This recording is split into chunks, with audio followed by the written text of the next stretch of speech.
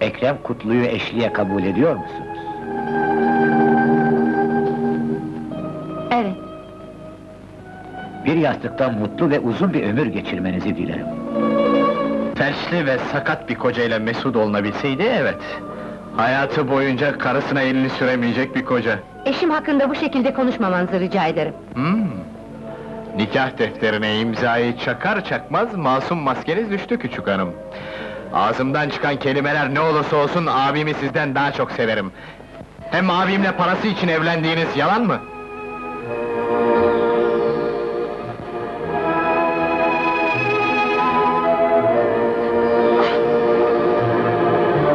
Kızın kalbini kırmaya hakkın yok Murat.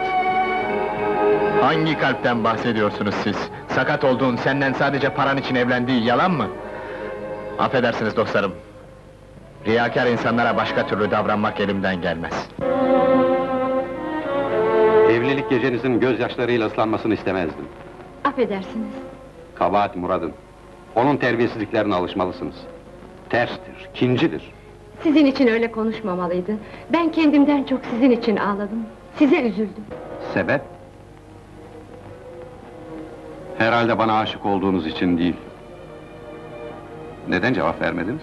Beni sevip sevmediğinizi sordum. Evlilikte keramet vardır derler.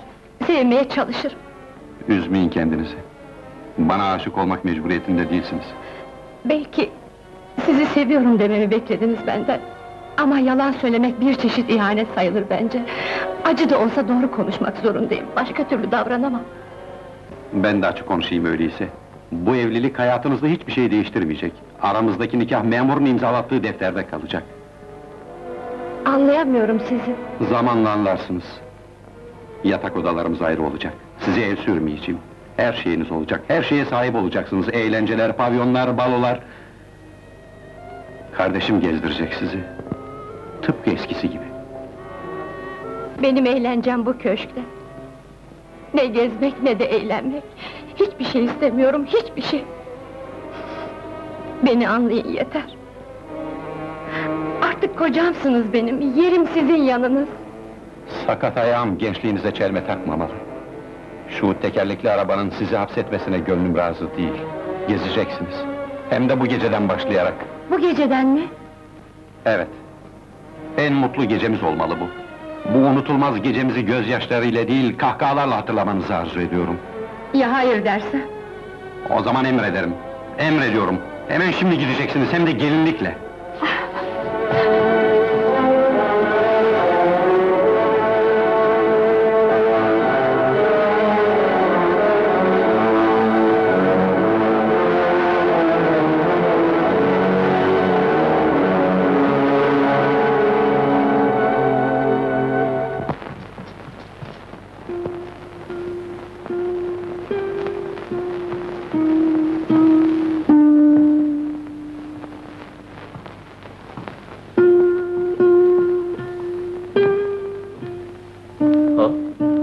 Hanım hazırlar demek. Evet.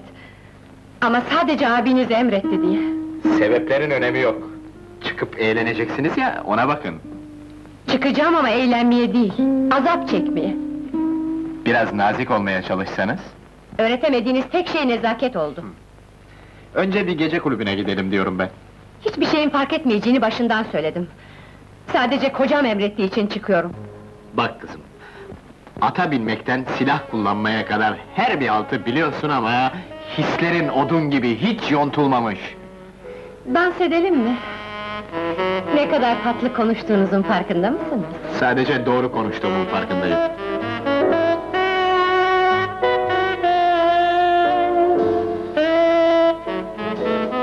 Farkında olduğum bir şey daha var biliyor musun? Neymiş o? Bana aşık olduğun. Elimde olsa sizi tokatlamak isterdim. Dayak yemekten korkmazsan bir dene bakalım. Hadi dene.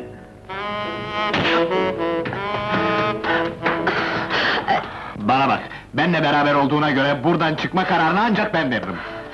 Basma entarilerden Avrupa elbiselerine. Basit bir mahalleden saray gibi bir köşke geldin. Şikayetin ne? Allah'tan belanı mı istiyorsun? Basma entariler içinde... ...basit dediğin o mahallede çok mesuttum. Daha mesuttum. Gidelim ne olur. Ben de aksine içerim diyorum. Kendimizi unutana kadar içerim. İçerim.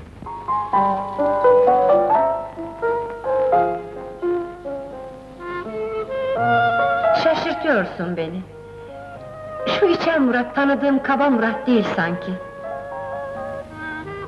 Hırçın olduğun kadar yumuşak, kaba olduğun kadar hisli, çok hisli bir insansın. Söyleyemediğin bir derdin var sanki. Acı çekiyorsun.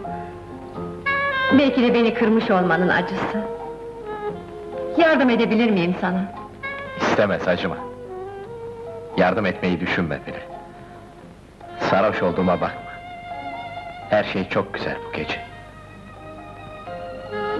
Müzik güzel, içki güzel. Bu güzellikler hislendirdi beni.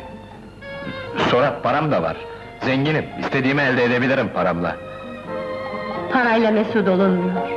Anladın mı? Para mesut etmiyor insanı.